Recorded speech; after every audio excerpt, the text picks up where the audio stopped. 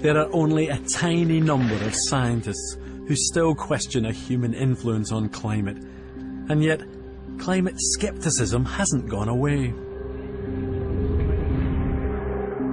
You'll still see websites claiming that the Earth isn't warming up, that it's all down to the urban heat island. But that's not true. You'll still hear claims that there's proof that the Earth was hotter during the medieval warm period. But that's not true. And you'll still hear people claiming that the sun somehow disproves global warming. But that's not true either. So why is this stuff still around?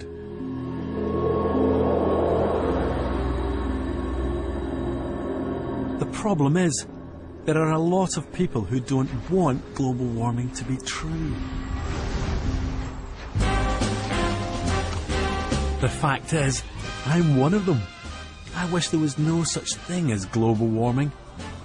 Because taking action to prevent climate change is going to affect all our lives and mean giving up some of our freedom. Freedom to go anywhere, do anything consume whatever you want when you want. The freedom to have an open road and a car full of cheap petrol. Don't tell me not to fly, I've simply got to. It's not only my freedom that's threatened. Cutting back on greenhouse gases threatens the freedom of companies to go about their business. Don't tell me not to live just Not surprisingly, they wanted to fight their case. Uh, who told you you're allowed to rain on my parade? A new alliance was formed. It was a who's who of household names. Exxon, BP, General Motors, Shell, Ford, and many others. They called themselves the Global Climate Coalition. Throughout the 90s, the Global Climate Coalition embarked on a marketing campaign to convince the public there was no need to take action. What do you know about the United Nations proposed climate treaty? Isn't that about uh, global warming? It would force the U.S. to cut energy use by over 20%. Gasoline prices could go up by 50 cents a gallon. Heating and electricity prices could soar. And higher energy costs will raise the price of almost everything we buy. Industry was fighting back.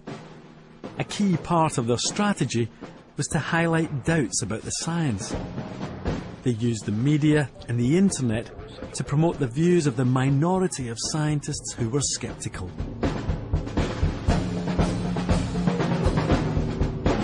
And the campaign received a huge boost with the election of Republican President George W. Bush.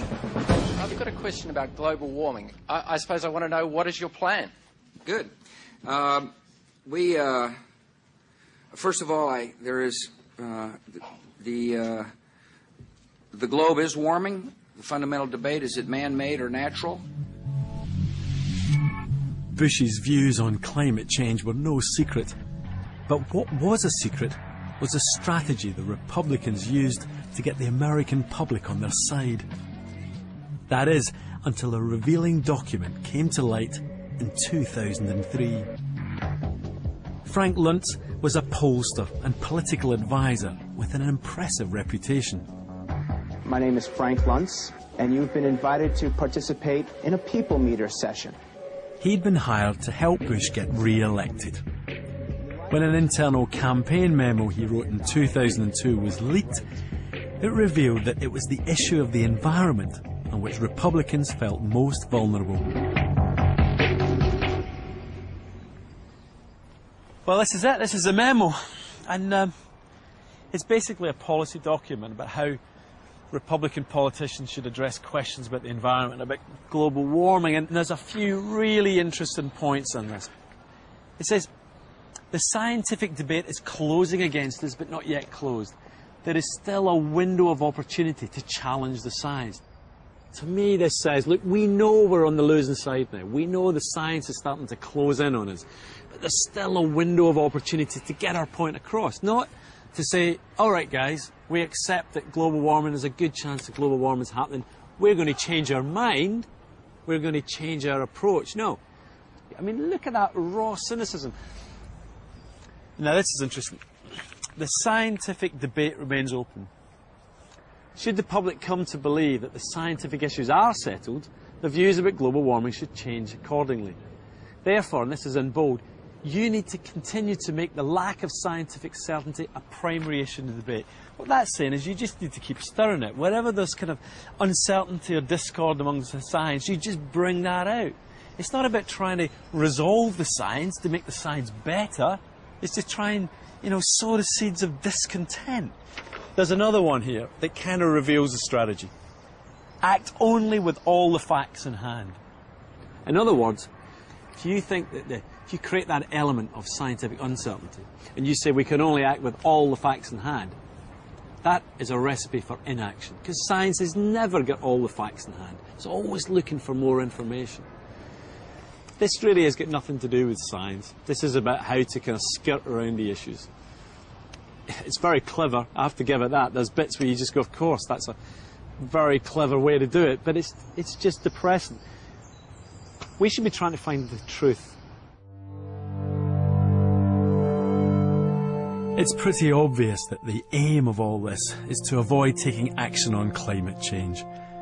As long as the public believe that scientists disagree on the issue, they won't demand action.